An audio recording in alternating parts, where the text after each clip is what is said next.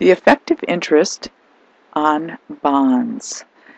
This is question 35 on the practice review and as you can see we have 500,000 9.5% 20-year bonds that are sold at 106 and instead of asking just for the entry we ask for do you understand what you wrote down in the entry?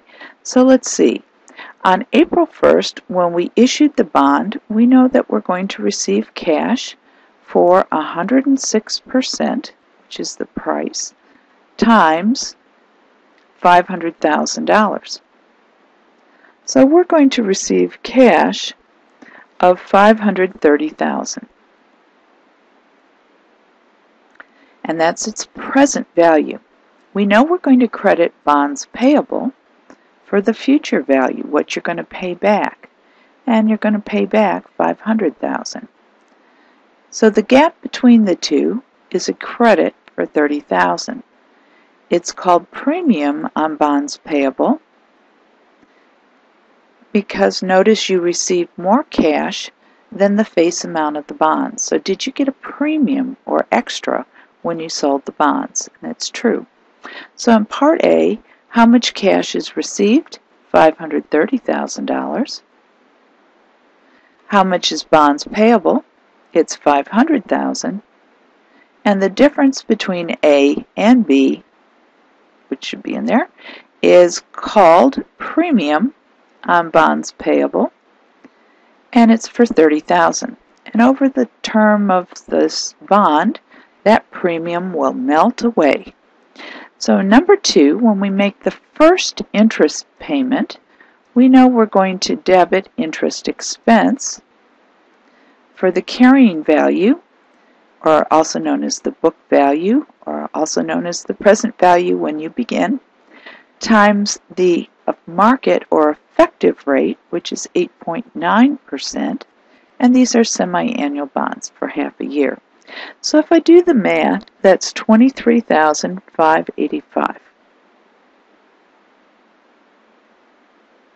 Now each time we pay interest, we know that we're going to pay interest based on the bond, 500,000, times the bonds or stated rate, 9.5%, for half a year because we send out these checks every six months. So that's 23,750.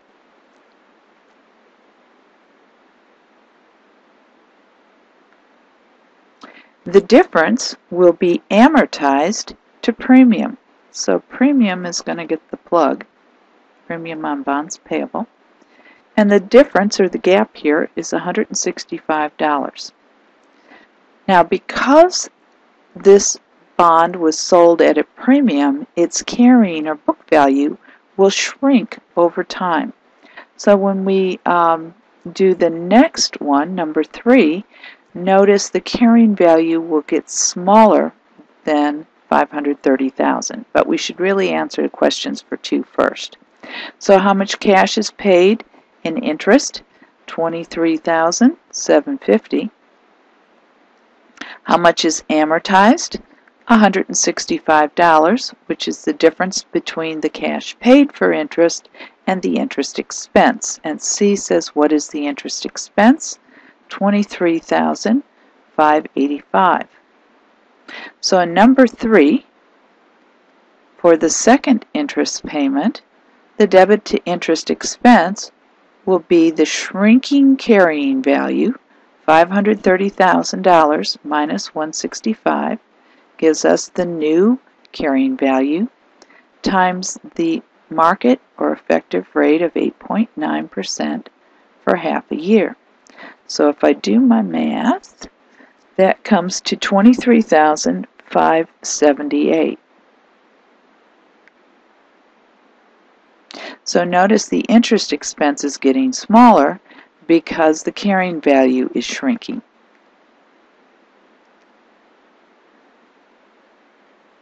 We're going to credit cash for the same amount as before, the 23,750.